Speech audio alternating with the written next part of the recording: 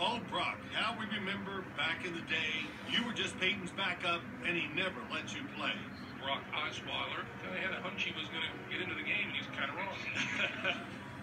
then came along 2015. Suddenly, the Broncos needed you on the scene. You played well for a while, beat the Patriots in the snow. It was so impressive, we even put you on our show. How tall are you? I'm six seven.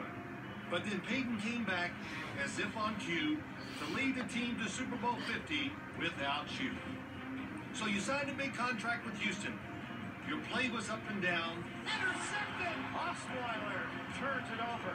Bill O'Brien couldn't take it anymore, and he shipped you to the Browns. I want to be the starter of this team. But Cleveland really didn't want you. It was sort of a ploy. So you resigned with the Broncos, and you chortled with joy.